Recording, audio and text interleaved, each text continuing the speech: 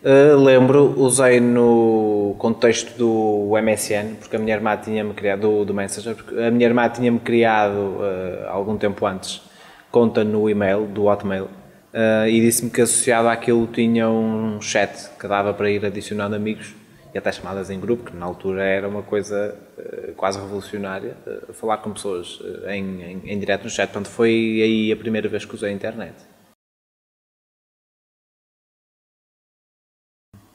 Eu e, claro, todas as pessoas da minha idade passámos por aquele momento de, de transição entre o i5 e o Facebook, quando o Facebook começou a ficar em voga. Eh, eu queria Facebook andava a meio do sétimo ano, exclusivamente eu e todos os meus amigos para jogar Farmville.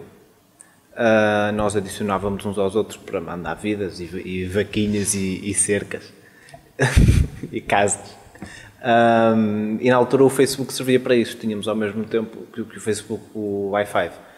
O Wi-Fi começou de forma muito rápida a passar para o segundo plano uh, e aí o Facebook começou a massificar-se até, até aos dias de hoje, como o, o conhecemos.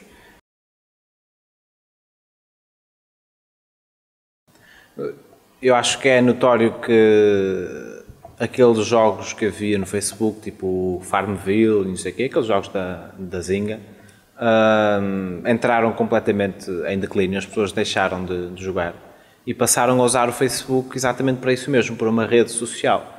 Uh, praticamente todas as televisões e todos, e todos os, os, jornais aderiram e, portanto, eu penso que o Facebook hoje em dia é um, o principal meio para as pessoas, o meio não de informação, mas de comunicação, sobretudo de notícias.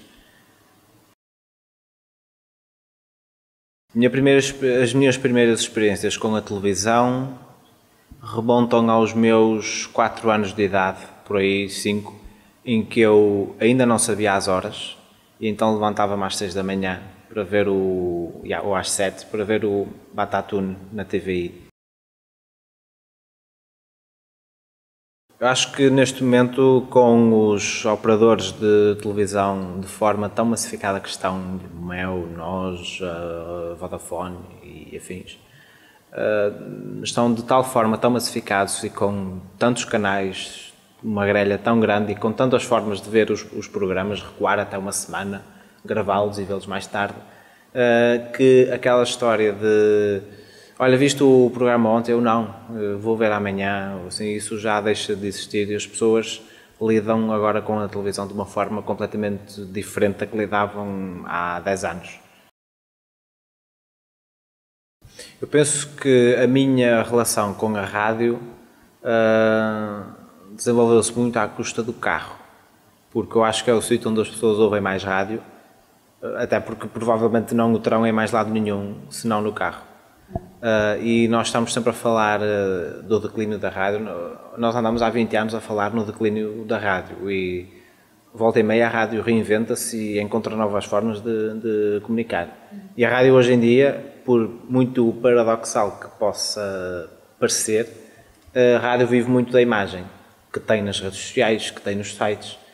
Uh, e eu penso que a rádio está mais, mais viva que nunca. A minha relação com a rádio uh, desenvolveu-se, portanto, muito à custa do carro. Comecei a ouvir, comecei a ouvir uh, rádio no carro quando era pequeno.